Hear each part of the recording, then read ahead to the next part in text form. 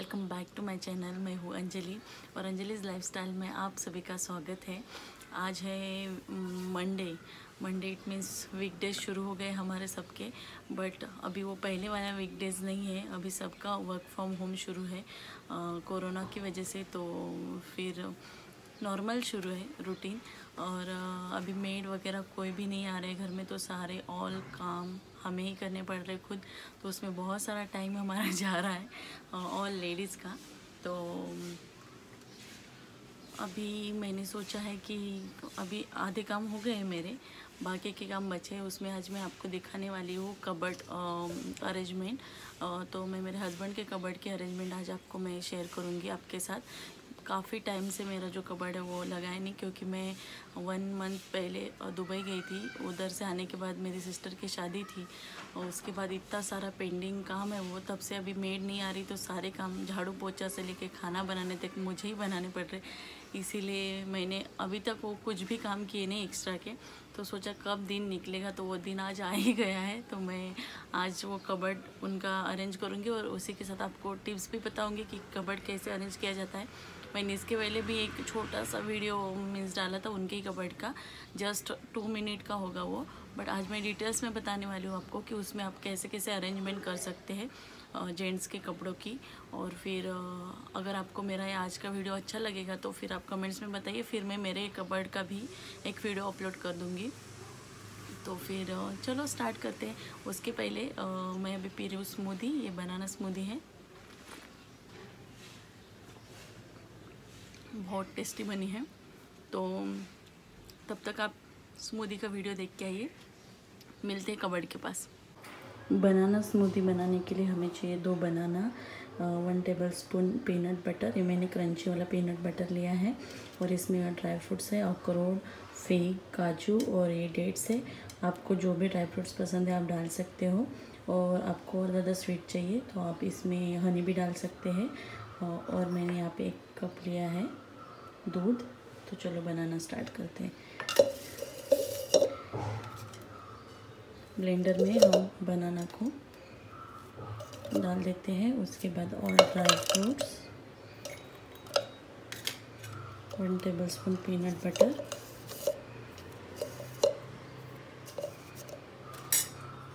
उसके बाद डालते हैं एक कप दूध। दूध फ्रिज का ठंडा हो तो ज़्यादा बेटर रहता है। उससे स्मूदी का टेस्ट और ज़्यादा अच्छा आता है। तो चलो इसको हम ब्लेंड करते हैं।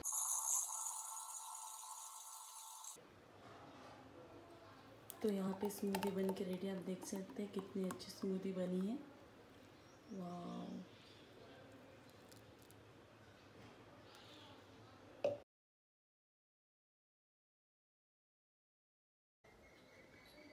आप देख सकते हैं कितना मेसी हो गया है मेरा कबर्ड इनका कबर्ड यहाँ तक पूरे कपड़े पूरे ख़राब हो गए। वही जो हम ट्रैवल करते हैं और उसके बाद आने के बाद जो आलसी बना आता है, उसकी वजह से ये सब हुआ है। तो ये सब आयन किए हुए कपड़े हैं, लेकिन इसकी हालत बहुत ही ख़राब है। इसीलिए आज का ये मेक करूँगी मैं। ये सारी बास्केट्स है इसमें मैंने अलग अलग सॉर्ट किए हुए कपड़े रखे थे। इनकी भी हालत ख़राब हो गई है। इधर कुछ चीज़ें हैं परफ्यूम ऑयल एंड मॉइस्चराइज़र ये सब भी ख़राब हो गया। इधर मेरी साड़ियाँ रखी थी, क्योंकि मैं जब ट्रैवल कर रही थी पैकिंग कर रही थी तो मुझे कई जगह नहीं मिली तो मैंने इनके कबड़ में मेरी साड़ियाँ भी डाल दी थी।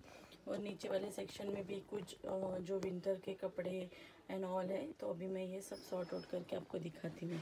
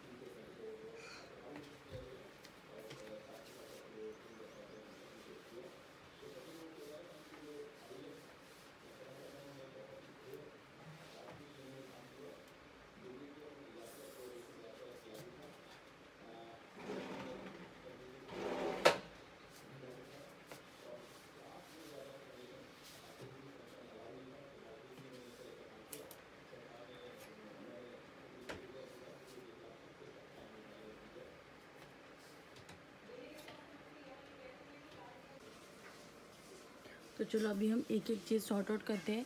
ये तीन बास्केट्स है, इसमें से मैं ये वाली बास्केट लेती हूँ। इसमें देखो पैंट और शर्ट सब कुछ चीज़ें हैं। तो सबसे इम्पोर्टेंट इधर देख सकते हैं आप, मैंने कुछ कॉलर टी शर्ट यहाँ पे जो है, इसके पहले से ही वो फोल्ड करके रखे हैं। जो अच्छे हैं वो मैं एज इट इज़ रखती हूँ। और उसके बाद मैं बताती हूँ कि कॉलर टी शर्ट की जो ये है फोल्ड कैसे की जाती है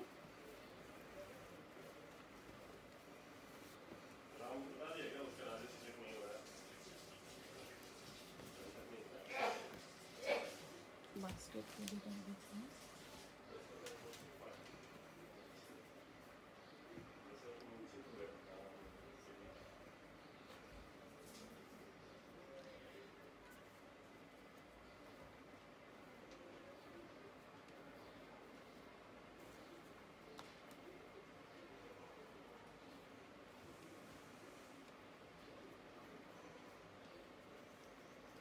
इस टाइप से फोल्ड करके हमें सारे जो कॉलर टी शर्ट है, वो फोल्ड करके इस तरह से हमें रखने हैं। इससे क्या होगा कि जो हमारे कपड़ों की क्वालिटी है, वो भी ख़राब नहीं होंगी और कपड़े एज इट इज़ रहेंगे। तो ऐसे मैंने थ्री फोल्ड्स किए हैं ताकि इस बास्केट में अच्छे से सेट होके आ जाए। तो इसी तरह से हमें all collar T shirt set करके रखने हैं।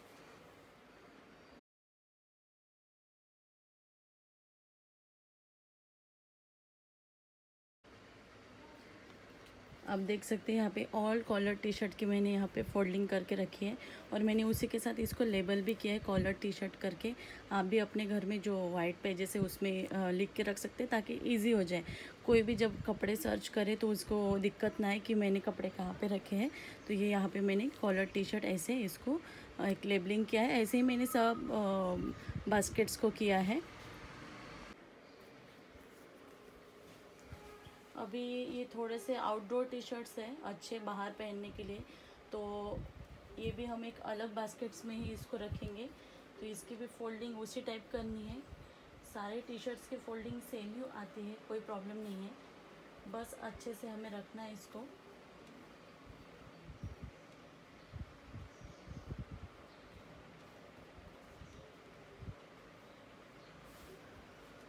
इसी को भी थ्री फोल्ड से ही हमें फोल्डिंग करके रखना है। क्योंकि आपने देखा ही हमारे बास्केट्स का शेप हाइट कितनी है, उसके अकॉर्डिंग हमें उसके फोल्ड्स करने तो ये थ्री फोल्डिंग का इस तरह से आपको टी शर्ट दिखेगा। इसी टाइप से हम सारे कर लेंगे।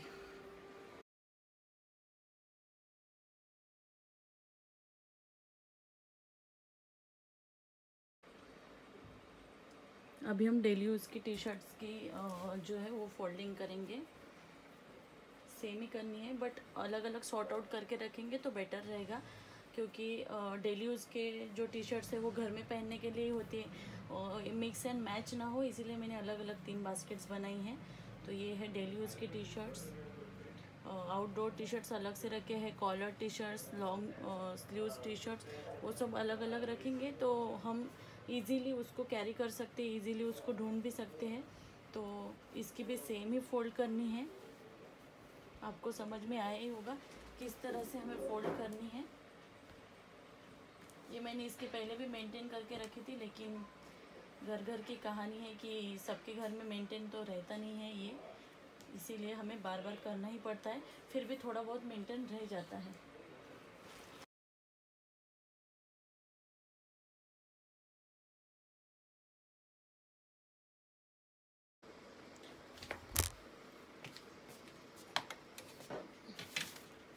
अभी हम ऑल शर्ट्स निकाल लेंगे।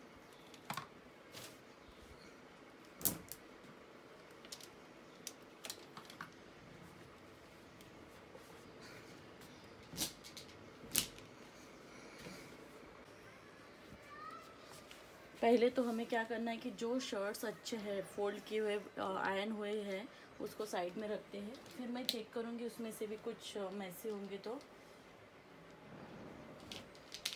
बट जिन शर्ट्स की फोल्डिंग्स नहीं हुए हैं अभी तक, उसको हम फोल्ड करेंगे। ये देखिए कुछ कुछ शर्ट्स बिना फोल्डिंग के भी हैंगर में लटके हुए हैं। तो अभी मैं आपको दिखाती हूँ कि कैसे ये शर्ट्स की फोल्डिंग की जाती है।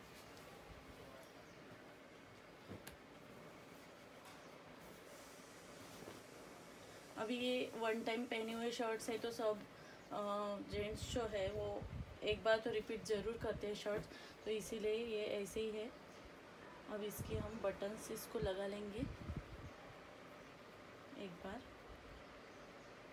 अल्टरनेट करके हम बटन्स को लगा लेंगे।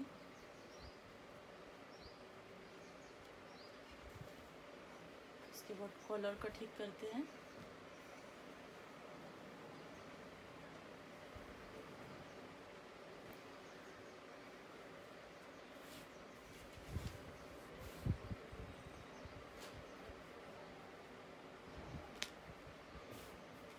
इसको थोड़ा सा अच्छा कर लेते हैं ताकि ये प्रेस के जैसा दिखे।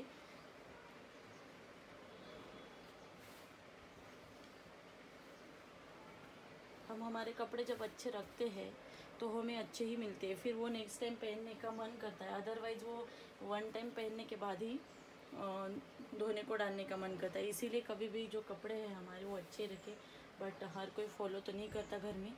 तो ये इस टाइप हमारी जो है वो शर्ट की फोल्डिंग हो गई है। अब इसको मैं एक हैंगर में लटका देती हूँ। अब इसको मैं एक हैंगर में लटका देती हूँ। इस तरह से सारे जो फोल्डिंग वाले, करने वाले शर्ट है, उसको हैंगर में हम लटका देंगे।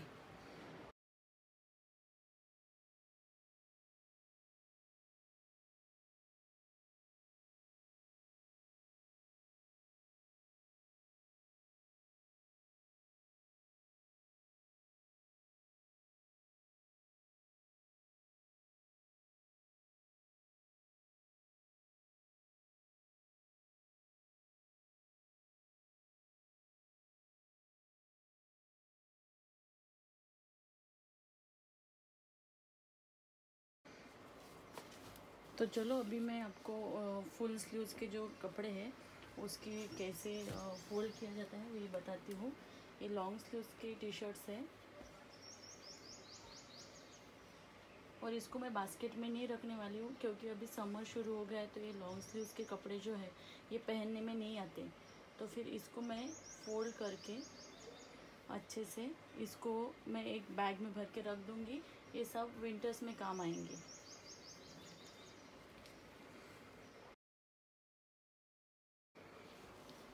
है फुल नाइट पैंट।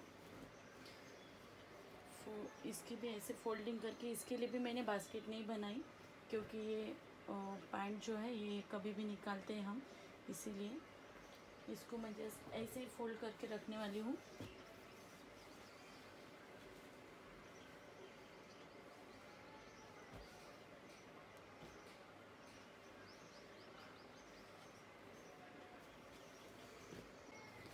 अभी जाते हैं जिम की टी शर्ट्स की ओर, ये जिम की टी शर्ट्स है।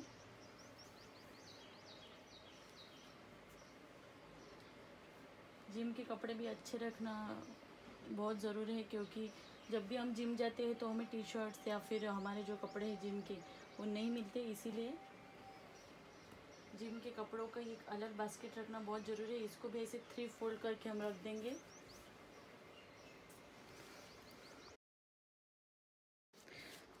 मैंने यहाँ पे इनर वेयर के लिए दो बास्केट बने, एक बनियन और एक अंडर वेयर के लिए। तो इनर वेयर की फोल्डिंग हमें इस तरह से करनी है। एक, दो, ऐसे हमें फोल्डिंग्स करनी है इसकी। और इसके बाद हमें इसका रोल बनाना है ऐसे। इस टाइप का रोल बना के हमें इसमें रखना है। ये वाली बास्केट में हमारे अभी फाइव और तीन आएँगे। मीन्स आठ से नौ इसमें हमारे इनरवेयर आते हैं। तो इतनी बास्केट काफ़ी है बनियन के लिए। ये अंडरवेयर के लिए मैंने बनाई है बास्केट इसमें भी और आएगा सात से आठ। यहाँ पे जीन्स की फोल्डिंग्स करते हैं हम। ये भी नॉर्मल तरीके से हमें करनी है, क्योंकि सबके पास ज़्यादा ही जीन्स होते हैं। पैंट्स, क्योंकि इतने सारे बास्केट में आएँगे भी नहीं और इसका जो फोल्डिंग है ये भी ख़राब हो सकता है, इसीलिए कभी भी जीन्स को बास्केट में नहीं रखना है। या तो आप हैंगर में रख सकते हैं या फिर इसको एज इट इज़ ऐसे ही फोल्ड करके रख सकते हैं। अब बारी आती है विंटर वेयर्स की। तो हम, आपको पता है कि हम जी जो विंटर वेयर्स है वो अभी पहनने का कोई काम नहीं है, अभी गर्मी शुरू हो गई है तो इसको भी हमें पैकिंग करके अच्छे से बैग में रखना है। तो इसकी फोल्डिंग देखिए आप, इस तरह से करनी है हमें।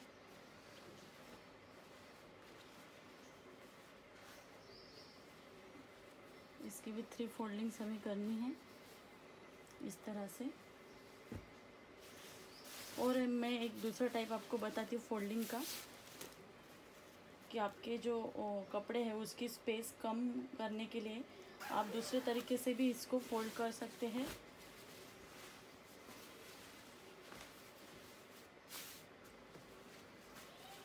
तो हमारी स्पेस भी कम लगेगी और कपड़े भी अच्छे से रहेंगे जब हम विंटर शुरू होगा, जब, तब निकालेंगे।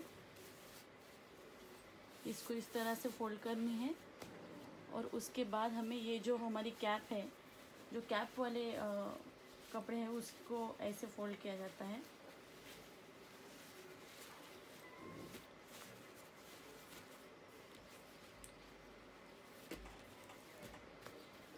इस तरह से हमारी फोल्डिंग हो गई है, आप देख सकते हैं। बहुत ही कम स्पेस लगेगी इसको।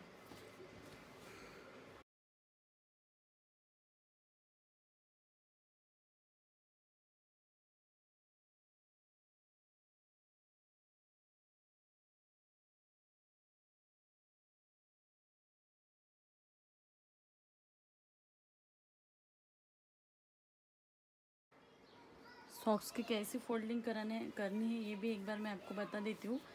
और आप सॉक्स के लिए ऐसी बास्केट भी बना सकते हैं। मेरे पास अब एक्स्ट्रा नहीं है, इसीलिए मैं साइड में रख दूँगी सॉक्स बहुत ही इजी है। सॉक्स एक के ऊपर एक ऐसे रखने हैं हमें। इस तरह से। इसको यहाँ से फोल्ड करके लेके जाना है हमें यहाँ तक। इसके बाद इसको, एक सॉक्स को ऐसे फोल्ड करना है। और फिर ये जो सेकेंड सॉक्स है, इसको ऐसे फोल्ड करना है। तो इस तरह से सॉक्स की जो पेयर है इधर उधर नहीं जाएगी और हमारा जो सॉक्स है, वो अच्छे से भी रहेंगे।